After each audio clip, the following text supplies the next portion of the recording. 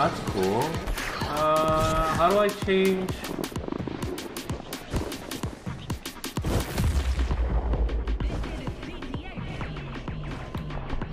Ah, here we go. This is the first person mode. Which is actually cool.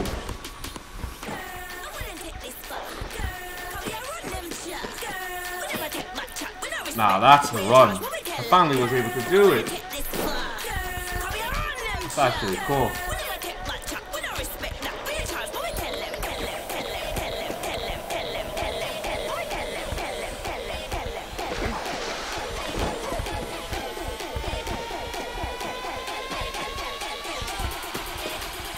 The first person view is not bad actually. Really cool. I couldn't be prouder of that run.